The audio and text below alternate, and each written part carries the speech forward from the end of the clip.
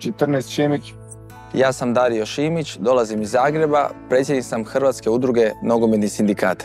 Ja sam David Sminić, imam lekciju i samo polako.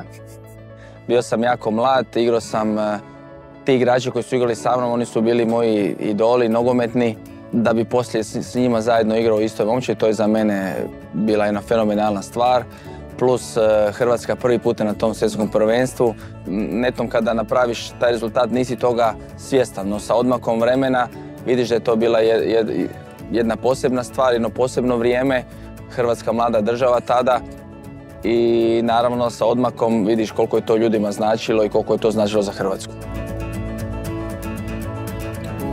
Kad sam osnivao HUNS zajedno sa Marijom Jurićem, tada su moja djeca bila stvarno jako mala i nisu oni, nisu oni bili motiv, nego je motiv bio jednostavno nepravedan položaj igrača u tom trenutku i to me nekako ponukalo da to osnujem i da branim njihova, njihove interese i prava.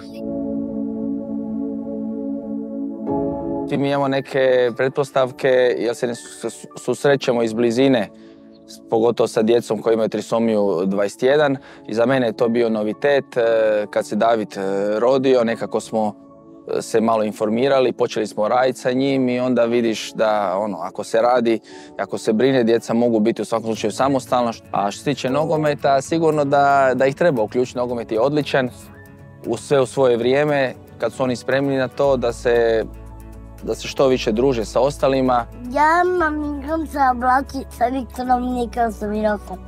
Koji brat je najbolji? Tetko. Koji brat? Koji je, Roko, Viktor ili Nikolas? Roko. Roko, da. dobro, Roko je doduše još mlad igrač i on još puno toga može i napredovati i dati. E, on ima jednu dobru energiju i teško ga je čuvati jer se puno kreće. Ima I takvi igrači su uvijek e, nezgodni. David je najmlađe dijete i Roko, i Roko, Viktor i Nikola su žive sa, sa njim i imaju taj osjećaj poseban e, koje ne može niko imati ko ne raste, oni njihov brat i oni imaju taj poseban osjećaj su razvili i za malu djecu i sa djecu sa posebnim potrebama. Kako su djeca rasla, imao sam osjećaj da sam im potreban, bio sam dosta uz njih, da sam izabrao da budem trener, teško bi se njima mogao posvetiti. Pa ima puno puno zanimanja u nogometu, tako da ne mogu ni svi biti treneri.